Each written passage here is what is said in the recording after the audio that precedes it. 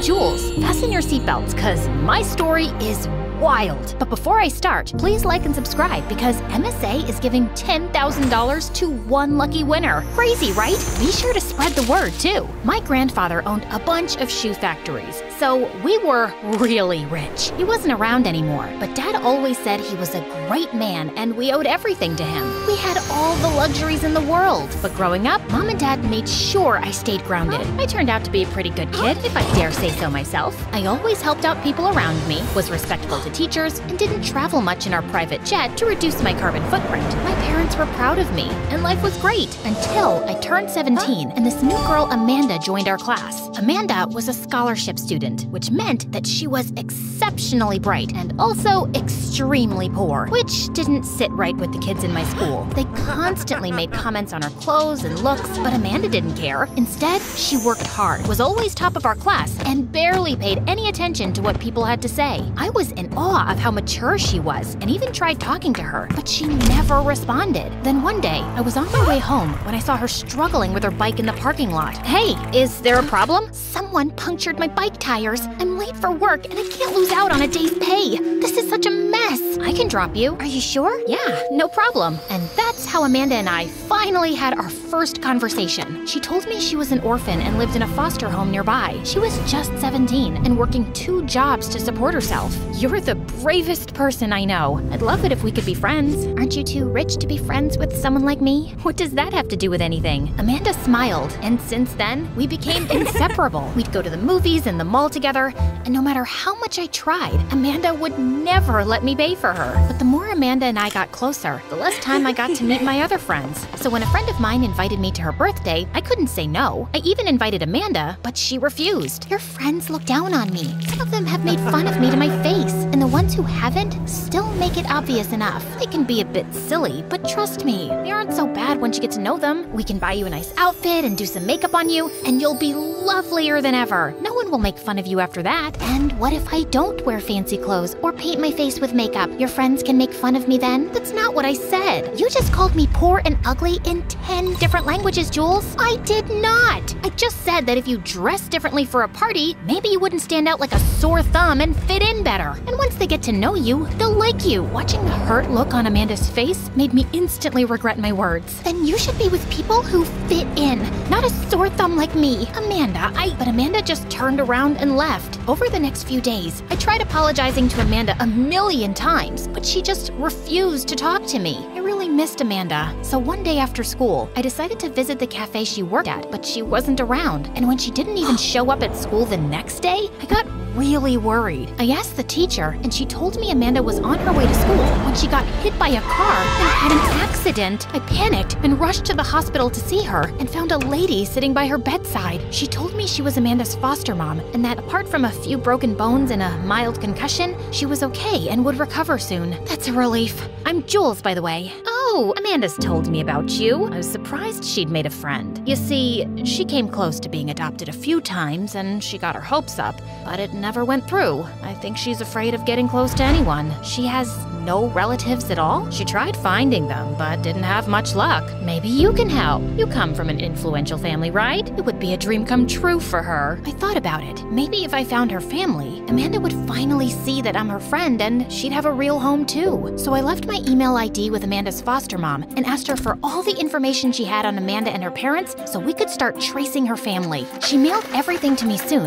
and I gave the documents to Dad. He promised he'd look into it, and a few days later, he came back with shocking news. Jules, I don't know how this is possible, but Amanda is your second cousin. What? Dad told me that my grandfather had an older brother who was Amanda's grandfather. And even more shocking was that she was poor because my grandpa stole her grandfather's share of the wealth, which had led to the two families breaking ties. After the dispute, Amanda's grandfather left town and changed the family name. I guess that's why after her parents' accident, no one was able to trace anyone related to Amanda. So, Grandpa was a thief and a liar? You told me he was the nicest man you've ever known. It's what I believed. I didn't know about any of this till I started looking into the matter and consulted the family lawyer. I swear. Well, We can't change the past, but we need to tell Amanda the truth now. We can't do that, Jules. You know I'm running for mayor. What if she leaks this information to the media? I can't afford such a big scandal and have people think our business has been built partly on stolen wealth. So we'll just let her rot in a foster home? That's when Dad suggested that he could adopt Amanda and take care of her like family. But I had to promise to keep his discovery a secret. I just wanted Amanda to have a better life like she deserved. And even though I didn't feel good about keeping the truth from her, I agreed. And the next day, Dad went to the hospital with me and spoke to Amanda and her foster mom about adopting her. Amanda was shocked at first, but she eventually agreed. And a week later, she came home with us. I was just helping her unpack when she walked over to me. Jules,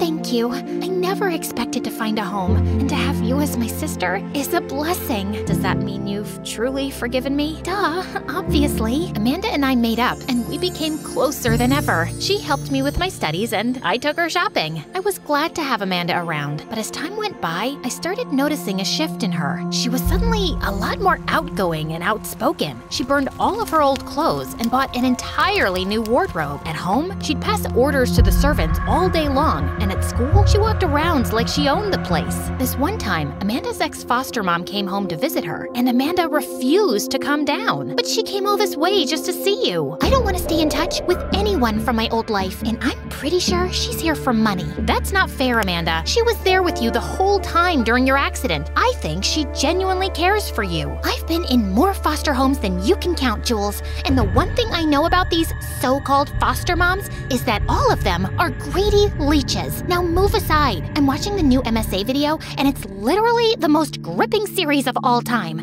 It's about these two sisters who go around conning people. I'm learning so much from it about family and sisterhood. Amanda was unrecognizable, and I hated this side of her. But my parents didn't seem to mind at all. In fact, they'd grown really fond of her and were really impressed with how smart she was, especially Dad. At first, I thought he was just being nice because he felt guilty, but then he asked her to join his campaign for the upcoming mayor elections. Amanda was managing his social media, finances, speeches, everything, and I just felt invisible. I wanted Dad to see that I was equally capable. So a week later, during one of his campaign dinners, I decided to start a conversation at the table. So, elections are almost here, huh?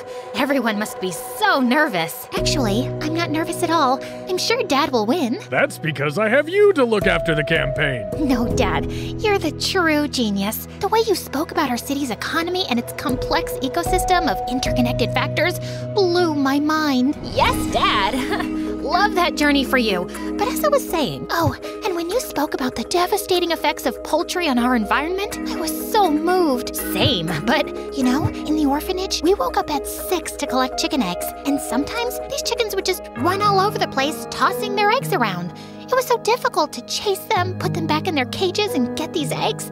I'm having flashbacks. That's really sad. But can you shut it for a second so I can talk? Jules, what's wrong with you? Can't you see Amanda's crying? And can't you see I'm trying to say something and she keeps butting in with her sob stories? Which makes zero sense, by the way. You don't know.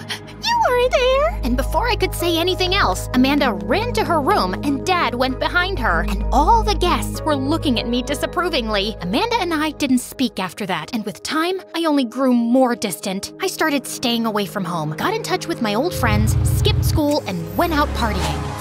First time in a long time, I felt included. But soon, my grades started getting affected. And when I failed some major tests, Dad was not happy. I can't believe you failed. Look at Amanda. She had nothing growing up and turned out so smart. Why can't you be more like her? Because I'm not her dad. I know you feel guilty that Amanda lost her part of the property because of Grandpa, but why are you overcompensating so much? Get a grip, dude. I don't know what's gotten into you these days. You're grounded. I wanted to argue more, but Dad got a phone call and left. I was still sulking in my room when I got a call from one of my friends about a party, and I decided to sneak out after dinner. But later that night, when I came back home, I found Amanda waiting for me in my room. Well, hello there. Oh my god, you scared me. What are you doing here? Waiting for you, of course. So, how was the party? I hope you had fun because it's the last time you're going out. Once mom and dad find out that you disobeyed them, they'll ground you for life. Don't you think you're taking this too far? You know, you're not actually part of the family, right? My parents felt sorry for you and took you in. Then why do I feel such a strong connection to your dad? Actually, he kind of looks like my dad. I've only ever seen one photo, but the resemblance is uncanny.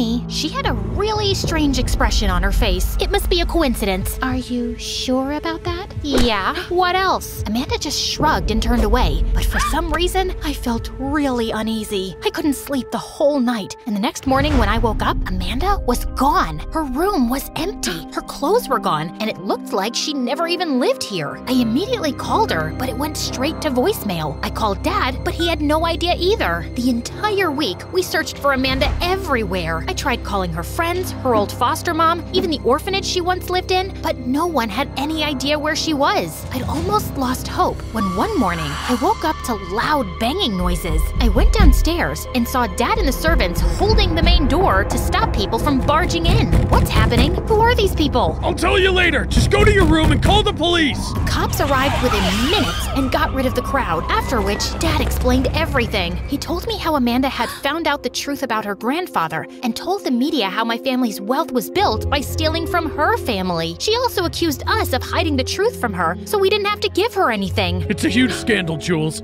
Amanda is suing us, and I have to step down from my candidacy too. Those people out there were reporters trying to get more information. But how did Amanda even know? Our family lawyer had given me a file with all the property dispute papers and a bunch of pictures, and it's all missing. Amanda had access to my office, so I guess she must have stolen it.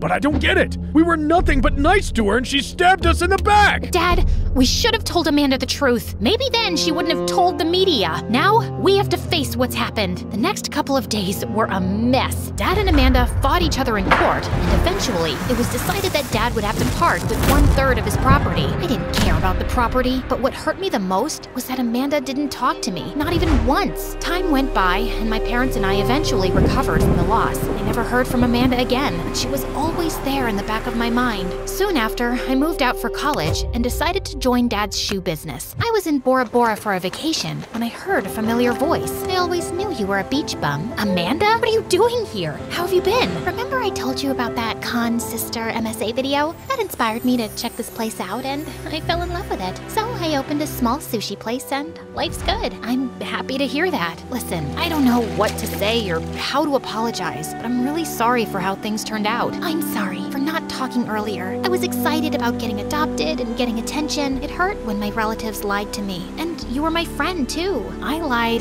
to protect my dad, but that was wrong. Our family's actions are unforgivable, but we're still related. I want you in my life. I think I'd like that too.